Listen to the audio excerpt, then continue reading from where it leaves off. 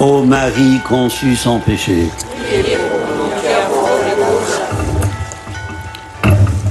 Es-tu le roi des Juifs demande Pilate à Jésus. Frères et sœurs, le sens des mots bouge comme la mode. Ainsi, roi et royauté, qui reviennent six fois dans l'évangile de ce dimanche, ne sont plus du goût de notre temps. Sans doute à cause de connotations fluctuantes qui affectent les concepts de souveraineté et de vassalité. On ne peut pas régner innocemment, disait Saint Just, juste avant de voter la mort de Louis XVI. Or Jésus est l'innocent et il est roi. La question de Pilate n'est pas sémiologique.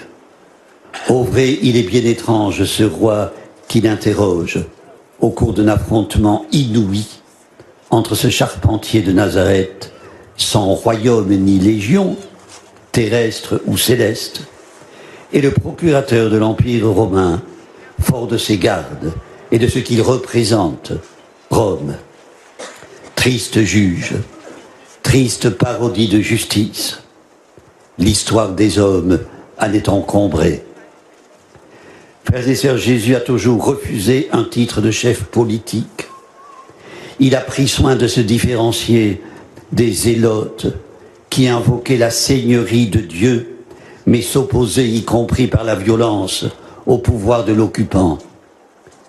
Jésus n'est pas entré dans Jérusalem monté sur un palefroid, mais sur un petit d'âne, pour bien montrer qu'il était le roi annoncé par les prophètes qu'il venait établir la justice et apporter le salut.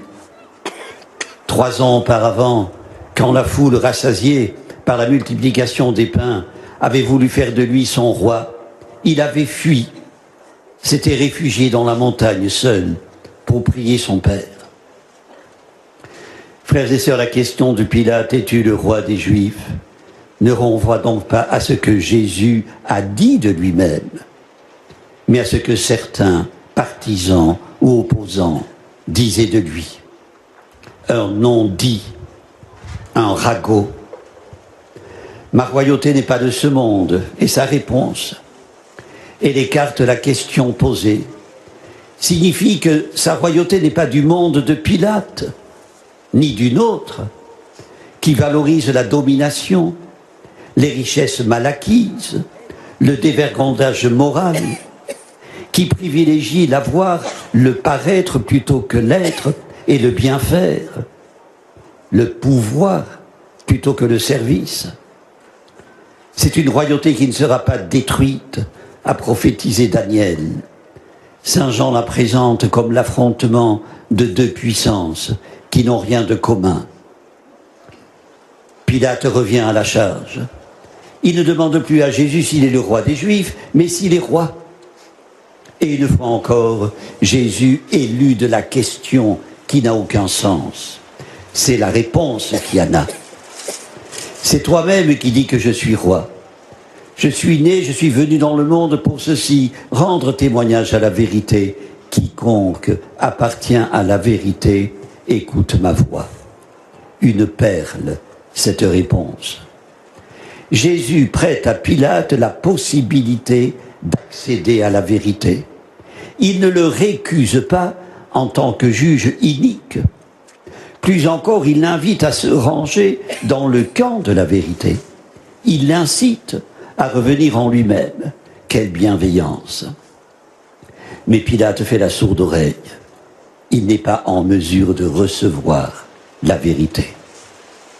L'ancien prédicateur de la maison pontificale, le cardinal Cantalamessa, raconte qu'après avoir suivi sur Internet d'innombrables débats sur la science et la religion, sur la foi et l'athéisme, avaient été frappés par l'absence du nom de Jésus.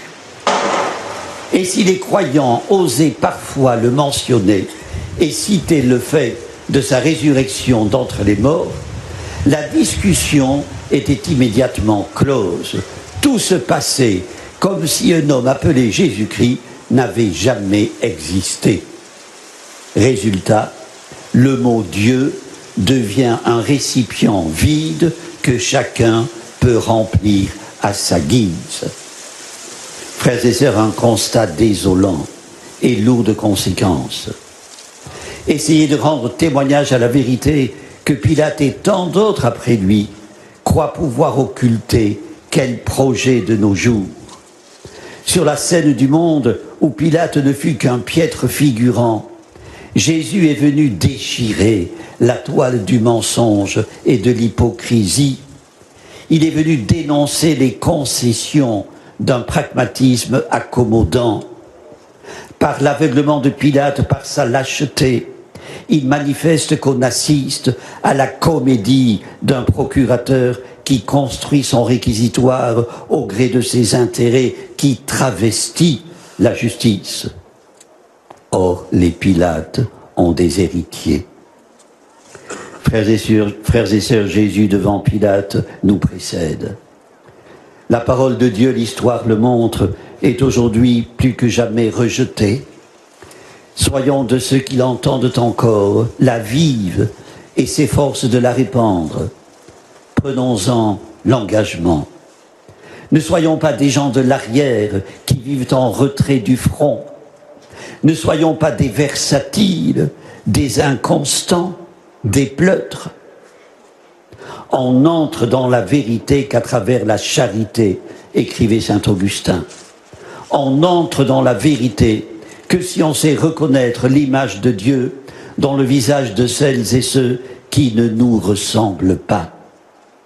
Grâce à l'attention que nous accordons aux petites gens, un geste, par-ci qui relève, une reconduite par-là sur le bon chemin. Frères et sœurs, nous ne serons dans la vérité que si nous refusons de fermer les yeux devant le drame que vivent tant de chrétiens aujourd'hui, abandonnés au moderne Pilate. Nous ne serons dans la vérité que si nous nous engageons pour la justice dans la construction de notre vie et l'aide de notre prochain le plus proche, le plus délaissé aux yeux de tous, mais précieux aux yeux de Dieu. Au soir de ta vie, c'est sur l'amour que tu seras jugé. Saint Jean de la Croix nous éclaire.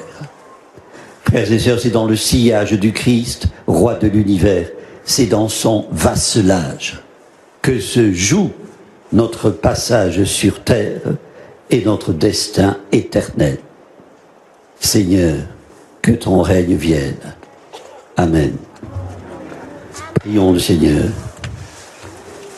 Dieu maître du monde et du temps, tu conduis notre histoire vers le rassemblement de ton royaume, pour que nous restions vigilants, prêts à reconnaître la venue de ton Fils. Rends-nous accueillants à sa parole qui ne passe pas. Exauce-nous, Dieu qui règne pour les siècles des siècles. Le Seigneur soit avec vous. Et avec votre esprit. Que Dieu Tout-Puissant vous bénisse, le Père, le Fils et le Saint-Esprit. Notre-Dame de Lourdes, Priez pour nous. Sainte Bernadette, Priez pour nous. ô Marie conçue sans péché, Priez